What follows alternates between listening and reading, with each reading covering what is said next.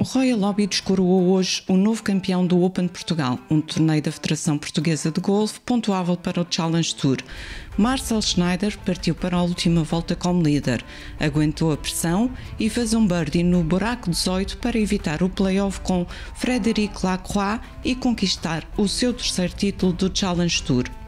Com um agregado de 269 pancadas, 19 abaixo do par, Marcel Schneider sagrou-se o campeão da edição 59 do Open Portugal.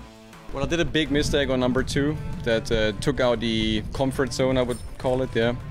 Um, then I, I managed to play good afterwards, but I was a few times unlucky.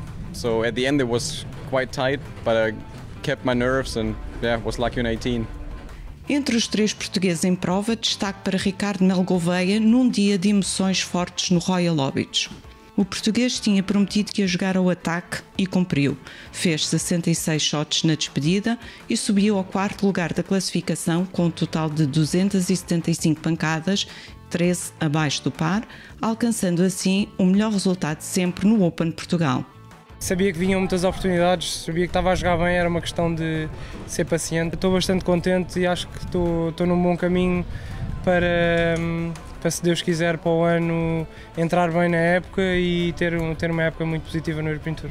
Pedro Figueiredo, que habitualmente joga no European Tour, hoje cumpriu par do campo e ficou numa discreta 32ª posição, com agregado de 282 pancadas, 6 abaixo, enquanto Miguel Caspar terminou no lugar 62.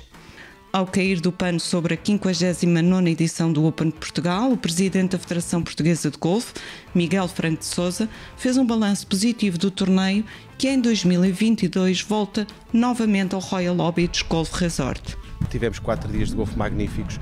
O campo de Royal Óbidos estava numas condições magníficas. Fizeram um grande esforço para que o campo estivesse nas condições ideais e, portanto, temos que, agradecer não só ao campo de Royal Óbidos pelo apoio continuado ao Open Portugal, também ao Turismo de Portugal e aos demais parceiros para que este evento seja uma realidade que para nós é, é fundamental.